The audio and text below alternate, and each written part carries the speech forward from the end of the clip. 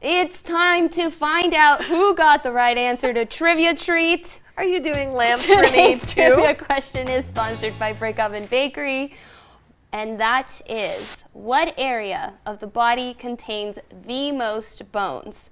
So the answers were knees, feet, hands, and your inner ear. Okay, so I am already mad at myself because I said feet and I was trying to be very confident about Oh. that. And it's because I was just picturing a foot and there are so many bones in a foot.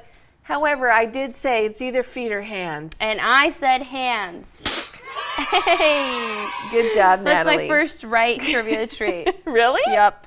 Where's my, my treat from Brick Oven Bakery? Oh, you gotta have to be here on Tuesdays for that. Okay, so each hand contains 27 bones, including the phalanges or fingers, the metacarpals, the hand, and the carpals, the wrist.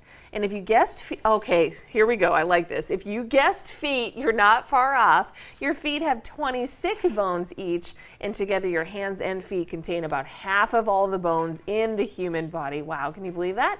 This has been our trivia treat sponsored by Brick Oven Bakery. If you'd like trivia like this in your inbox every day, head over to quizdaily.com to subscribe.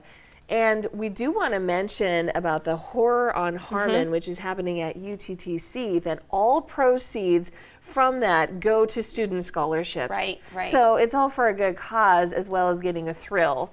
And we're going to try to talk Natalie into doing it. Obviously, I'm not doing it right now, and I don't know if I would otherwise, but definitely not right now. But Natalie, our little thrill seeker here, we're going to see if we can get her she to wants go me to go live from the. Well, I just house. want it to be recorded. I want good. the reaction shot so I can see that. And you said you'd maybe do it. Yes. Maybe willing. We'll see. Would you act put a pin on that. if you were being recorded and you knew that than you would normally? Think? You know, I've done it before. I've I've uh, shot a story, you know, through um, a haunted house.